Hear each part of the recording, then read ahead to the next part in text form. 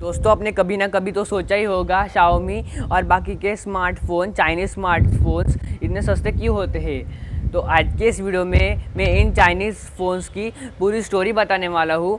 तो इस वीडियो के साथ बने रहिए और वीडियो शुरू करने से पहले एक इंटरेस्टिंग फैक्ट ज़रूर सुनिएगा कि आईफोन 8 को बनाने में करीब से करीब अठारह हज़ार लग गए थे, पर वो मार्केट में आते आते साठ हज़ार का फ़ोन हो गया। तो ऐसा क्यों हुआ? इसके बारे में जानने के लिए मेरा वीडियो पूरा शुरू से अंत तक देखिएगा। तो नमस्कार दोस्तों, मेरा नाम है चैतन्य और स्वागत है आप सभी का टेक्निकल चैतन्य में। तो चलिए शुरू करते हैं।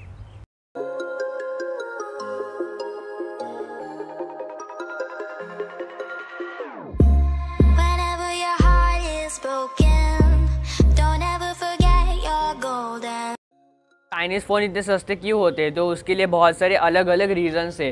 तो उनमें से कुछ रीज़न मैं बताऊँगा। पहला रीज़न है ट्रांसफ़र द रिस्क अगर आपने कोई भी मैनेजमेंट का लेसन पढ़ा होगा तो उसमें आपने एक चीज़ ज़रूर पढ़ी होगी transfer the risk transfer the risk मतलब अगर आप खुद रिस्क नहीं लेना चाहते हो तो दूसरे को वो रिस्क दे दो। इसी विषय पर हम और डीप जाते हैं। और मैं आपको समझाता हूँ आर एंड डी क्या होता है? आर एंड डी दरअसल होता है रिसर्च एंड डेवलपमेंट तो आर एंड डी एक कंपनी के लिए बहुत ही महत्वपूर्ण रहता है। अगर किसी कंपनी का आर एंड डी बहुत ही अच्छा है तो उस कंपनी का ओवरऑल स्टेटस है वो बहुत ही अच्छा होता है। जैसा कि मैंने कहा कि आईफोन 8 को बनाने में अठारह हज़ार लगे थे। तो मैं आपको एक्चुअल रिज़ल्ट बताता हूँ कि वो मार्केट में आते आते इतना महँगा क्यों हो जाता है। आर एन डी एक ऐसी चीज़ है जो उसमें बहुत ही खर्चा करना पड़ता है एक कंपनी को।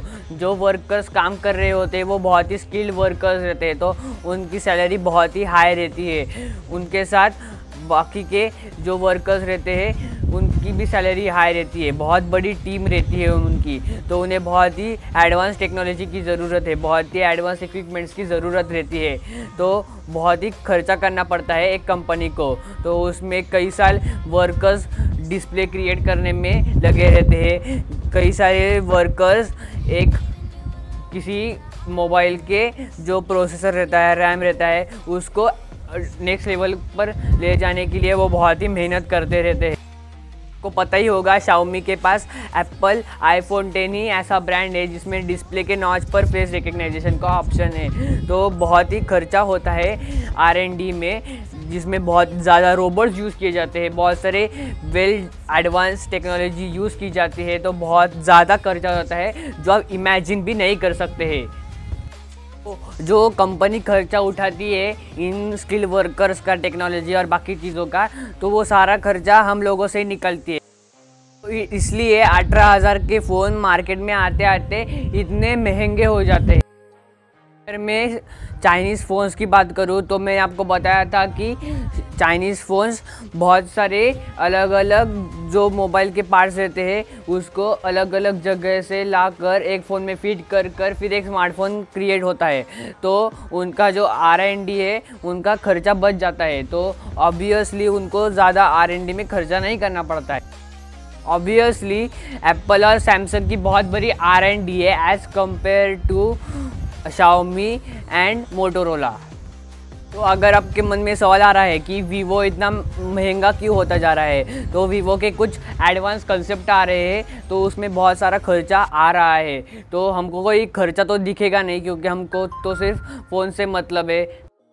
अब मुझे समझ में आ रहा है कि एप्पल का आईफोन जितना क्यों महँगा होता है।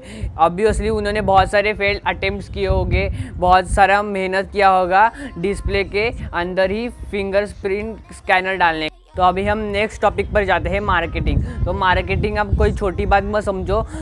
मार्केटिंग से लिटरली हमारा ब्रेन वॉश किया जाता है। 2017 के एक रिपोर्ट में कहा गया था कि सैमसंग ने 10 बिलियन डॉलर खर्चा किया था उसके मार्केटिंग में।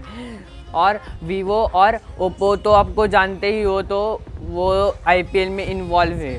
तो आईपीएल में इन्वॉल्व होने के कारण तो उनका बहुत सारा एडवर्टाइजमेंट होता है और ओप्पो और वीवो के बहुत सारे जगह जगह पर होर्डिंग्स दिखाई देते हैं। तो होर्डिंग्स जगह जगह पर दिखना बहुत ही बड़ी बात है। और एक मैंने बात सुनी थी न्यूज़ में कि वीवो का फ़ोन अभी जो मार्वल्स के दो पिक्चर आने वाले हैं आयरन मैन और कैप्टन अमेरिका के जो पिक्चर्स आने वाले हैं, उसमें वीवो का स्मार्टफ़ोन दिखने वाला है उनके हाथ में। तो बहुत बहुत बहुत खर्चा करता है वीवो और ओप्पो उसके मार्केटिंग में। अगर मैं शाओमी या फिर अदर चाइनीज़ फ़ोन्स की बात करूँ तो वो एडवर्टाइजिंग करती ही नहीं है। और एक मैंने रिपोर्ट में सुना था कि शाओमी और बाकी के Chinese phones zero percent profit कमाती है स्मार्टफ़ोन इंडस्ट्री से। तो वो ऐसा क्यों करते हैं? तो उन्होंने कहा कि हम चाहते हैं कि लोगों को हमारा ब्रांड बहुत ही पसंद आए। तो शाओमी और बाकी के चाइनीज़ मोबाइल्स ऐसा क्यों करते हैं? तो शाओमी के स्मार्टफ़ोन ही नहीं बेचे जाते, बल्कि बहुत सारे अदर प्रोडक्ट्स भी बेचे जाते हैं। जो शाओमी ऐसे प्रोडक्ट्स लॉन्च करता है जो कभी इंडिया में आए ही नहीं हैं। फॉर एग्ज़ाम्पल अगर आपने सैमसंग का एक फ़ोन ख़रीदा और आपको बहुत पसंद आया तो बहुत सारे चांसेस है कि आप सैमसंग का डिस्प्ले भी उठा लो और फ्रिज भी उठा लो। शाओमी का यही मोटो है कि वो अपने स्मार्टफ़ोन ज़्यादा से ज़्यादा लोगों को भेजे, ताकि वो लोगों के मन जीत पाए और वो लोग हमारे प्रोडक्ट्स ज़्यादा से ज़्यादा ख़रीद ले। तो ये बहुत ही बड़ी बात है, क्योंकि वो सिर्फ़ स्मार्टफ़ोन से ज़ीरो परसेंट प्रॉफिट कमा रहे और ये कोई बड़ी बात बहुत ही बड़ी बात है कि कोई कंपनी सिर्फ़ स्मार्टफ़ोन से ज़ीरो परसेंट प्रॉफिट कमा रही है। जो स्मार्टफोन्स लॉन्च होते हैं, उनको स्टोर किया जाना चाहिए। तो स्टोर करने की भी बहुत बहुत सारे तरीके रहते हैं। तो उनमें से एक तरीका मैं आपको बताना चाहूँगा, जो कि है फ्लैश सेल तो फ्लैश सेल का सेंस क्या होता है? तो मैं आपको बताना चाहूँगा कि जो इन्वेंटरी रहता है इन्वेंटरी मतलब स्टोरेज मतलब जो जगह रहती है उसमें आप मोबाइल स्टोर करते हैं। तो उसमें बहुत सारा खर्चा रहता है बहुत सारी सिक्योरिटी गार्ड्स रखने पड़ते हैं उसमें बहुत सारे आदमियों का इन्वॉल्वमेंट रहता है उन्हें बहुत सारा पैसा देना पड़ता है फिर जो वो जो जगह है उसका भी किराना देना पड़ता है भाड़ा देना पड़ता है तो बहुत सारा खर्चा आता है उसमें। तो फ्लैश सेल में क्या होता है कि जो फ़ोन बनते हैं तो वो डायरेक्टली फ्लैश सेल में आ, आ जाते हैं मतलब शाओमी का क्या रहता है कि अगर हमारे एक एक एक वीक में अगर दस शाओमी के फ़ोन्स बनते हैं तो वो डायरेक्टली फ्लैश सेल में जाते हैं। मतलब वो डायरेक्ट मार्केट में आ जाते हैं बेचने के लिए। तो उनको इन्वेंटरी का खर्चा नहीं करना पड़ता है। तो उससे उनका जो कॉस्ट कटिंग हो जाता है।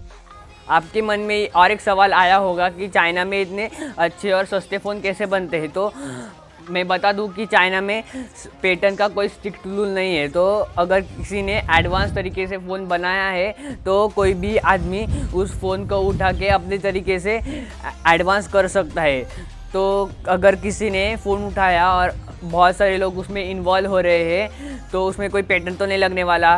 तो बहुत सारे लोग उस पर मेहनत कर रहे हैं तो वो चीज़ और भी एडवांस होती जाएगी और इसमें अगर पेटेंट नहीं लग रहा तो वो चीप होएगी। तो इसलिए वो चाइनीज़ फ़ोन बहुत ही सस्ते हो जाते हैं और बहुत ही एडवांस भी हो जाते हैं।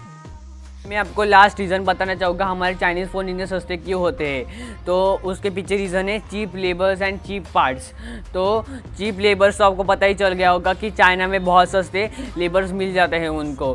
तो अभी चीप पार्ट्स क्या होता है? तो उसकी एक अलग कहानी है।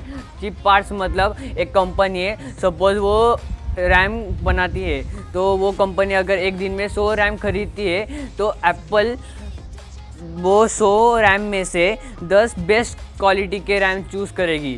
तो उन, अगर तो एप्पल का खर्चा बहुत ज़्यादा रहता है तो वो बहुत ही बेस्ट क्वालिटी के रैम उठा लेते हैं। वेयर एज जो शाओमी के फ़ोन या फिर अदर चाइनीज़ फ़ोन रहते हैं, वो क्या करते हैं, थोड़े लो क्वालिटी के रैम्स भी उठा सकते हैं। तो थोड़ा मतलब वो जानबूझ के नहीं करते होंगे, पर इन वैरी, थोड़ा सा वैरी होता है, जो एप्पल के फ़ोन रहते हैं और शाओमी के फ़ोन रहते हैं।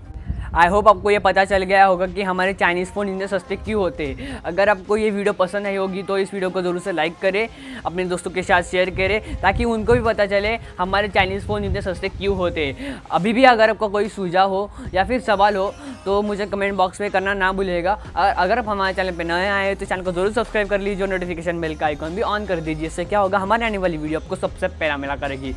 अभी के लिए इतना ही दोस्तों, जय हिंद, वंदे मातरम।